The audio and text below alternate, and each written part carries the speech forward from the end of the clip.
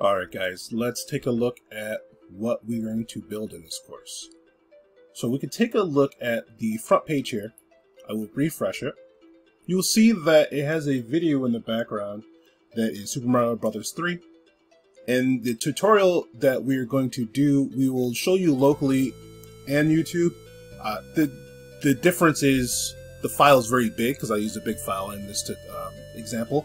So what we'll do is you can't get rid of this, but we'll do this. They're going to add a skip button there, which we will close on click. So this is the main page. We will go to portfolio here, and there will be different versions of it. You can do a full screen image, you can do the image with the text in the line or below the line, or no text at all.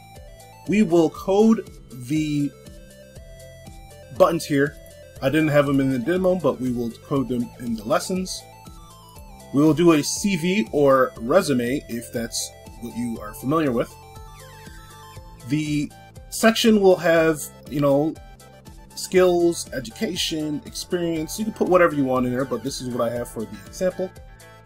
And we have the contact page here, which will have social icons and your contact form. Now, I won't show you how to really get into making this with PHP but if you want to, uh, we will have a different lesson that we will go over. Now, one thing I'm going to point out too about these videos, if you notice the sections start at different points, we will code that in JavaScript. So you'll be, have to be familiar with a little bit of JavaScript, and we will also go over some Bootstrap, which I will show you most of the things that you need.